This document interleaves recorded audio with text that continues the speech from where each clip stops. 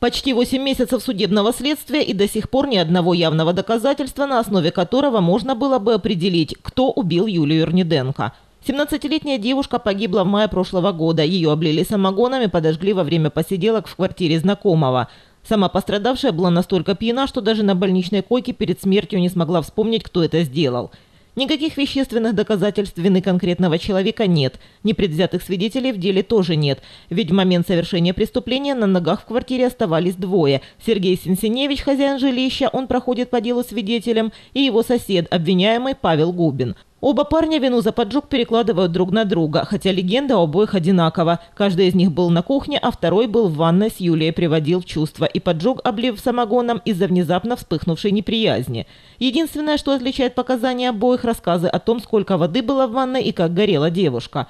Проверить их попробовали во время следственного эксперимента. После того, как стали известны его результаты, еще раз допросили главного свидетеля, который, настаивает защита, существенно подкорректировал свои показания. Я только насчитала так сходу э, в трех позициях. Первое – это положение девочки в ванной, потому что резко она стала у него сидеть поперек.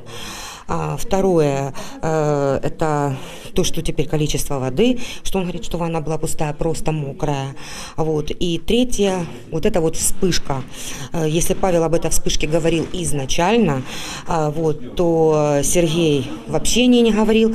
А после того, как провели новый следственный эксперимент по настоянию прокурора и вспышка была показана, что ее тушили с огнетушителя, вдруг Сережа сегодня вспомнил о вспышке. Однако адвокат Сергея Сенсиневича, молодой человек, тоже решил прийти с защитником, уверяет, это не изменение показаний, а уточнение. В сегодняшнем заседании никаких кардинальных изменений в показаниях не было. Были уточняющие, но никак это нельзя расценивать как изменение показаний. В прокуратуре же говорят и о разногласиях в показаниях обвиняемого, и о расхождении слов обвиняемого и свидетеля. Поэтому решают необходимо провести новую, еще более полную комплексную экспертизу с участием пожарных, судебно-медицинских экспертов, врача-комбустиолога, это специалист, который занимается ожогами, и уверяют, проблема не в том, что гособвинение и суд зашли в тупик. Це взагалі не значить з приводу позиції прокуратури лише е, усунення тих протиріч, які виникли під час судового розгляду між показаннями обвинуваченого і свідка, для того, щоб ці суперечності е, ну, встановити розбіжності, суперечності, необхідно провести таку саму експертизу. Сім'я Юлії Рніденка ходатайство поддержала. Данная экспертиза крайне необходима, потому что в данной ситуации прошлая, предыдущая экспертиза не ответила на главный вопрос. А если показания Губина не совпадают с реальностью, то в чем не совпадают? Да? В основном главная суть – это эм, ответить на два вопроса новой экспертизе. Это показания, чьи показания соответствуют действительности, э, показания свидетеля или э, обвиняемого, это раз. И второе, э, соответствуют ли эти показания механизму нанесения э, данных повреждений. Ответив на данные вопросы, суду будет гораздо проще убедиться в том, кто же на самом деле говорит правду.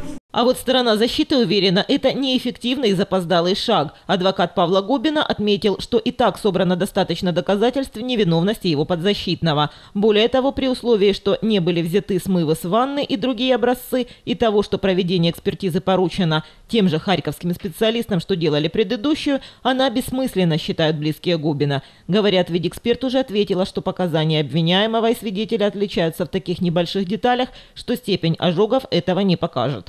Эту экспертизу надо было вообще делать изначально, с комбустиологами, с пожарными, со всеми. Э, как бы, ну, удивлялись все, почему она не назначена, почему была вообще какая-то непонятная экспертиза, которая, по сути, ничего не показала. Более того, мама Павла уверена, что речь идет о затягивании времени, ведь на комплексную экспертизу суд отвел месяц, а меру пресечения, содержание под арестом, продлили до июня. Марина Николаева, Андрей Домовой, агентство телевидения «Новости».